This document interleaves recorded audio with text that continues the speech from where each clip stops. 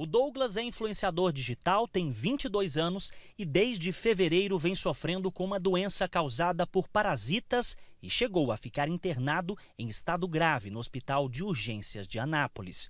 Segundo a mãe dele, o tratamento para combater a doença demorou a fazer efeito, porque o jovem sempre usou medicamentos por conta própria. Hoje nós estamos fazendo um tratamento seríssimo com ele de corticóides alterados, porque brincou muito com antibiótico.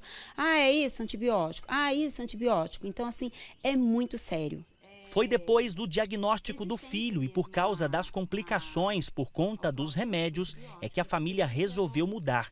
Hoje, eles só tomam remédios depois de passar por uma consulta médica. É uma consciência que você tem que ter, não importa se é um postinho, se é um médico particular, você tem que correr atrás, buscar exames precisos e fazer realmente um acompanhamento diretamente com o profissional.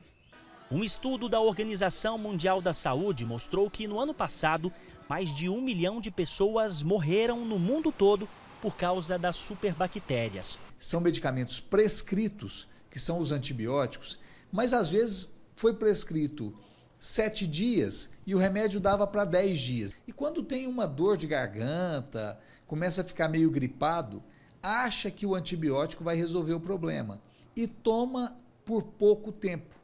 Então, como ele tinha só três dias de remédio, ele toma dia sim, dia não, ou toma só uma vez por dia, e aí fica subdose, que vai levar à resistência da bactéria. E aí vai ficar mais difícil de tratar depois.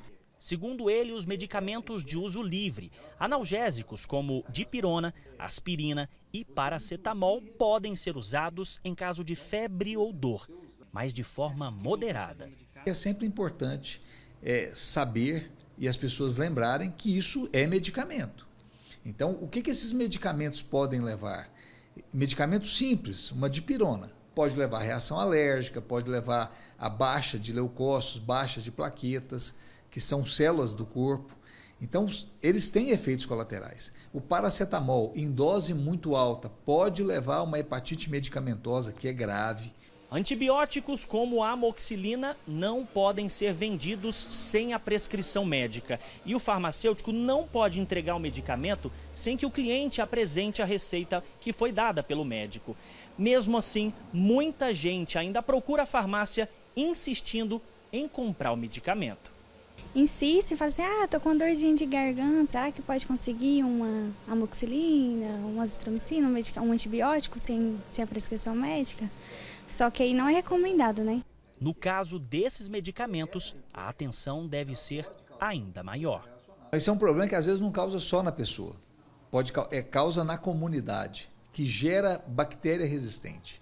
Essas bactérias resistentes, elas vão trazer problema para a pessoa. Então, numa internação hospitalar, onde a pessoa tem uma bactéria resistente, essa bactéria pode começar a ser predominante naquele ambiente pode passar para outras pessoas, outros doentes, e pode ser a bactéria que toma, toma conta do ambiente. Então isso passa a ser um problema. A gente vê que cada vez que passa a bactéria está vindo mais acelerada, mais forte, mais difícil de combater.